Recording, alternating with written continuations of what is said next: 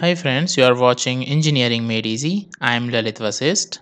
In this video, we will discuss the Faraday's law of electromagnetic induction. For this, we will use this simulator and with the help of this simulator, we will understand all the basics of the Faraday's law of electromagnetic induction. So let's start. First of all, the main thing is what is Faraday's law of electromagnetic induction? It is given as, if I see the formula, then it is given as the induced EMF E is given as E is equals to minus of N d phi by dt. I will explain all these terms d phi by dt. Okay, what does this mean? Here E is the electromotive force. Okay, EMF induced EMF is equals to minus of N d phi by dt. Phi is the flux okay? Magnetic flux. And n is the number of turns in the coil. So what does this rule says? Actually according to this the electromotive force around a closed path is equal to the negative of the time rate of change of the magnetic flux enclosed by the path. It means if we see it by this example then here we have uh, this voltmeter and uh, this is the coil okay? And here is the bar magnet. So what will i do? I will change the position of this bar magnet okay? And we'll see how it produces the induced emf in this. And uh, how this bulb lightens.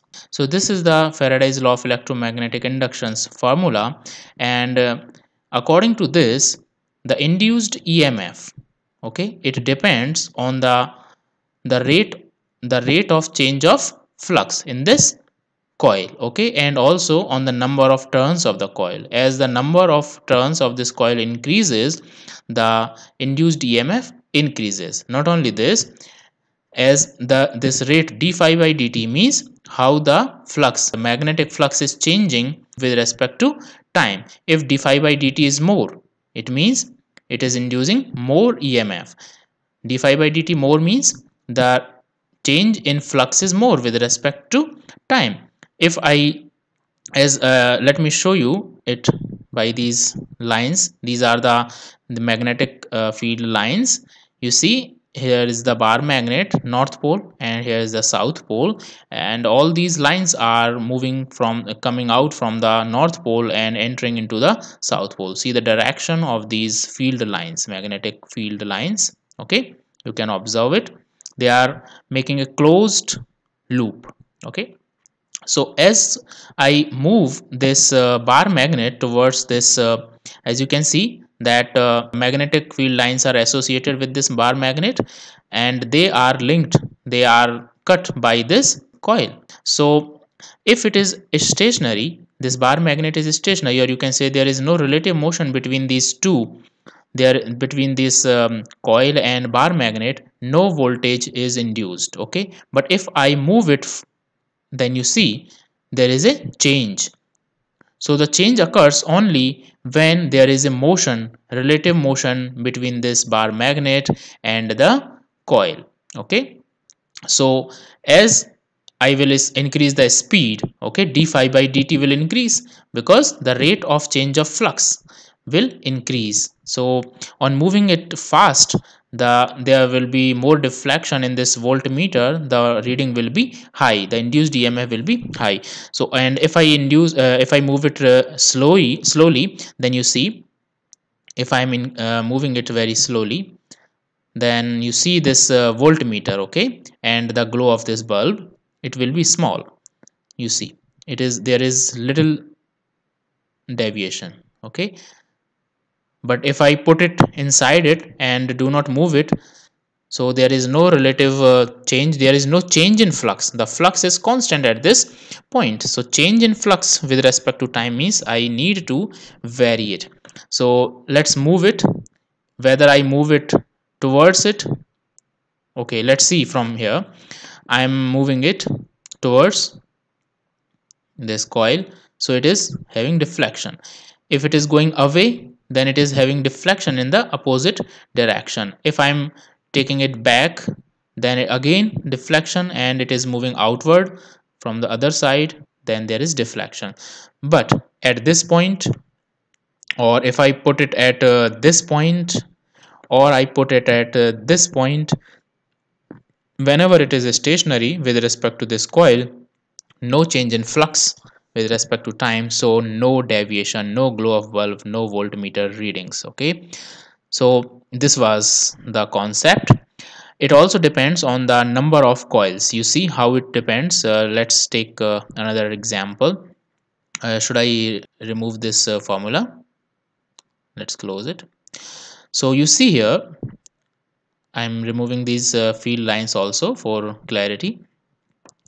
You see I'm moving it uh, with the same uh, speed towards the coil and here it has four turns and here only two turns. As I told you that n d phi by dt so n is the number of turns. It should be half actually. In this case n is half of this only two turns so it should be low.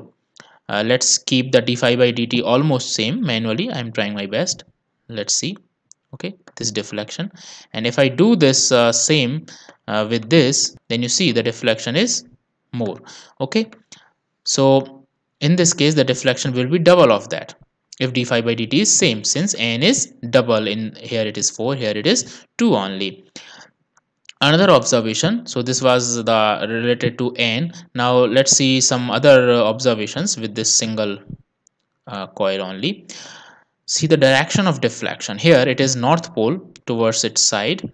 And if i increase you see the deflection okay? As i move this uh, uh, bar magnet towards this coil uh, one more thing that you should understand here that whether I move this magnet or the coil there is no difference. There uh, the important thing is the relative position the, the relative uh, change in these positions of the magnet and this coil okay? Uh, I can move I can put this bar magnet stationary and can move this coil also or I can move both of them. But at least there should be one moving thing so that there uh, should be change in the flux d phi by dt another way can be if I put this uh, uh, magnet here uh, let's say it is uh, inside this and it is having a stationary uh, magnetic field. So no change in flux.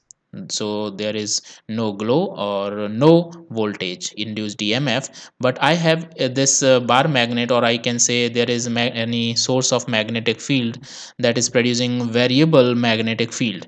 In that case also uh, even there is no relative change in the positions of uh, these two but it is having some time variable magnetic flux okay? It is a source of a variable magnetic uh, field. So in that case also there will be d phi by dt.